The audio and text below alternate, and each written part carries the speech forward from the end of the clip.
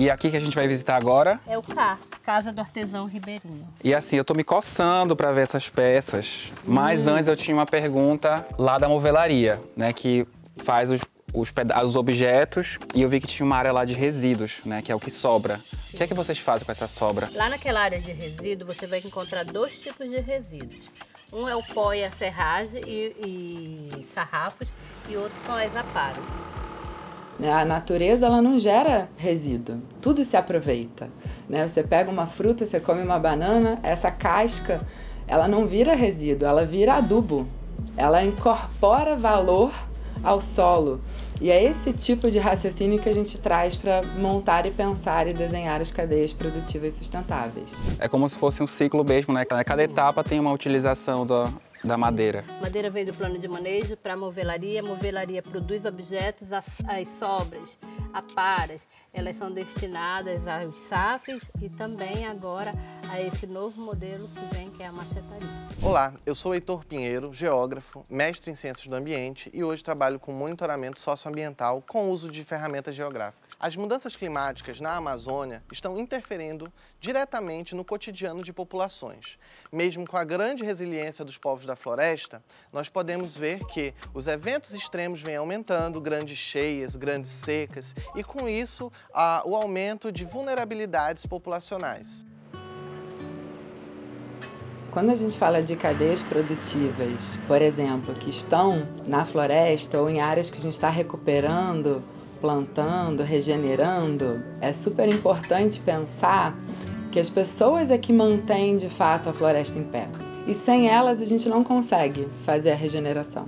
Sem elas a gente não consegue trabalhar o solo, porque de fato a gente precisa do conhecimento e do trabalho das pessoas que estão ali. Então é um ganha-ganha quando você consegue encontrar um espaço, um ambiente que tem pessoas que estão disponíveis e empenhadas em transformar aquele espaço em um lugar melhor, em gerar renda né, em trazer benefícios para aquela localidade, você tem de fato a combinação perfeita para criar uma cadeia produtiva sustentável.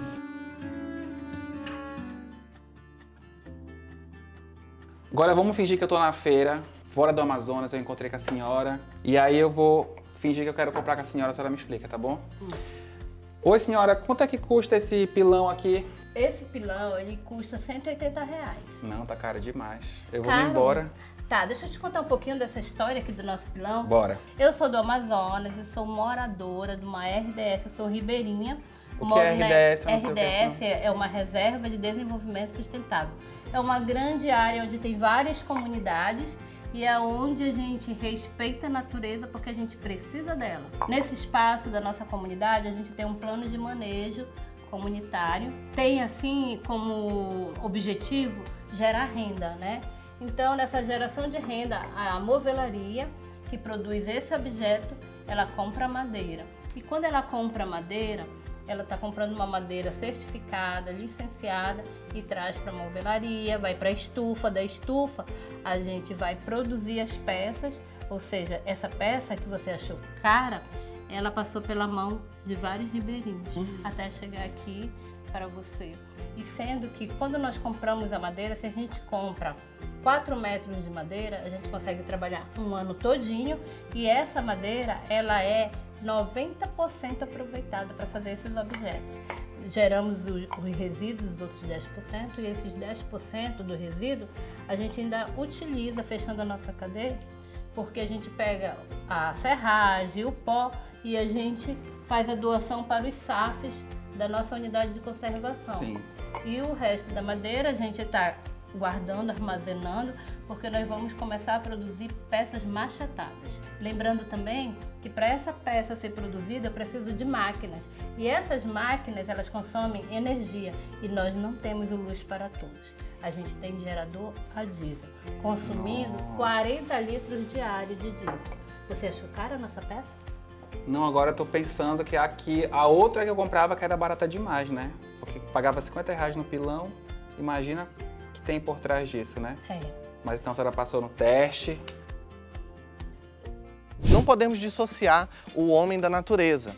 o homem faz parte do ambiente e a utilização dos recursos naturais de forma sustentável é a chave para um futuro mais generoso. Vamos deixar mais pessoas em clima de Amazônia? Curta, comente e compartilhe esse vídeo. A Floresta agradece.